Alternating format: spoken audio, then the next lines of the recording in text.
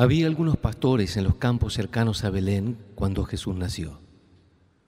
Muy probablemente esa era una tranquila y silenciosa noche cuando una ráfaga angelical gloriosa los asombró con la noticia de que el Salvador había nacido.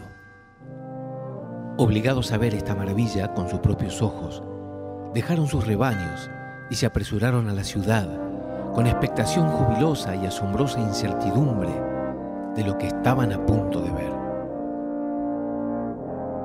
Lo que encontraron fue un niño que se veía como ellos, un Mesías de carne y hueso, envuelto en mansedumbre y vestido de humildad, el infinito como un mortal, un Salvador en pañales. Infinito